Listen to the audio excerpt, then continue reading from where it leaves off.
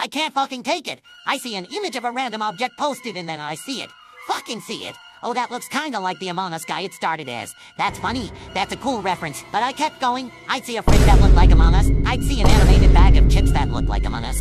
I'd see a hat that looked like Among Us. And every time I burst into an insane, breath-deprived laugh staring at the image as the words Among Us ran through my head. It's torment, psychological torture.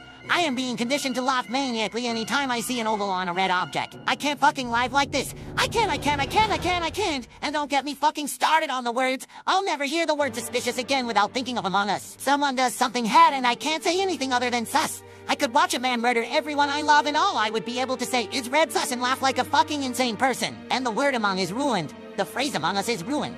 I can't live anymore. Among Us has destroyed my fucking life. I want to eject myself from this plane of existence. Make it stop.